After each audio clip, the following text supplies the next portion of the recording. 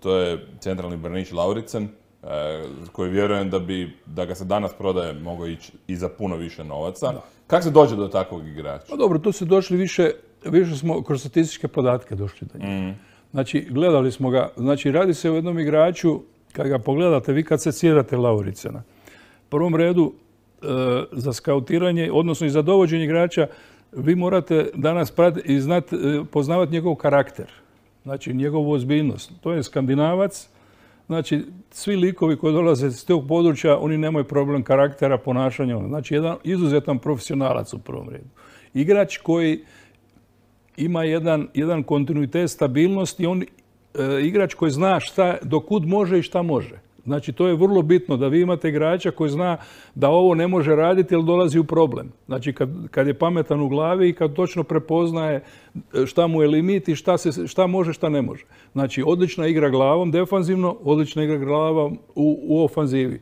Znači, i jedna mirnoća, Ja stabilnost. bih rekao i- leadership veliki. pa On je i- uvijek najglasniji. I je, uvijek on to, da. I on se tu vrlo brzo nametno kao igrač. On se vrlo u tom segmentu nametno. Znači, on kad gledate njegov CV, to nije nekakvi CV sad wow. Znači, on pa pogledate, nema ni jedan nastup ni bilo kojoj danskoj reprezentaciji. On je Dobro, dan- ima i malo nesreću da da danci baš na stoperu. Pa dobro, ok, ali ipak da ni u mlađim kategorijama nema nastupa. Znači on ima 24 i 25 godina sada. Ali kad pogledate njegov CV, kad pogledate e, mlade selekcije, njega nema nigdje. Mhm. A sad je bio kandidat za ovo, za ovo evropsko prvenstvo na, među, ne znam, 30 ili koliko je bio. To je super stvar. To je odlično. Ali ne bi bio sigurno da, nije, da, nije, da, je, da je ostao tamo u Švedskoj gdje je bio. Znači, da je to, znači, on je jedan osigurač, jedan, jedan izuzetno karakteran igrač. Znači, i on je na temelju toga zadovoljio kriterije da dođe u Dinamo. I Dinamo je, i, ali što je vrlo bitno, igrač kad dođe, on mora imati podršku. Znači, podršku da, da igra. Jer vi možete dovesti nekoga, ali ako ga vi ne vidite i ne ga stavite na stranu, onda on neće, onda ste gotovi. Ali on je dobio od prvog, mi- prvog dana, kak je došao, trener koji je bio tada Zoran Mamić, ga je na neki način gotivio i vidio ga je, on ga je isto, on ga je u stvari prvi vi- i on ga na neki način stalno igrao. On je kad se sjetite prve utakmice tamo u Varaždinu napravio onaj kiks i kad smo primili gol i sve, ja znam šta je bio.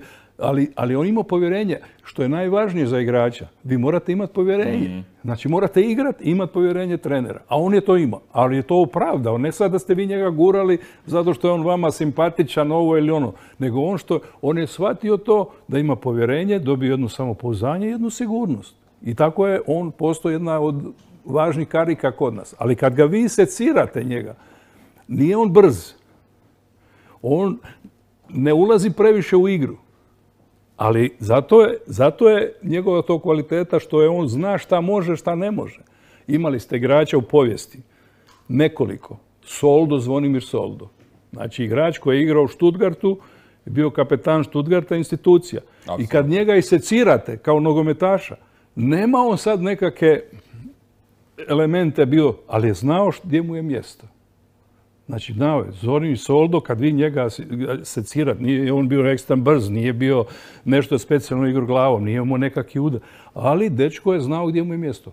Moje generacije, ja kad sam trenirao Dinamo 90, imali ste Krunu Jurčića, koji je bio zadnji vezni. Ali on znao, prvom do sebe skoči to, to. A to je vrlo bitno kod igrača, da znaju šta mogu i gdje im je mjesto. To je vrlo bitno. A ne da fantaziraju nešto, da rade ono što ne znaju i onda ulaze u problem. Da. Evo, to je otprilike Laurica nova priča, ako već o njemu.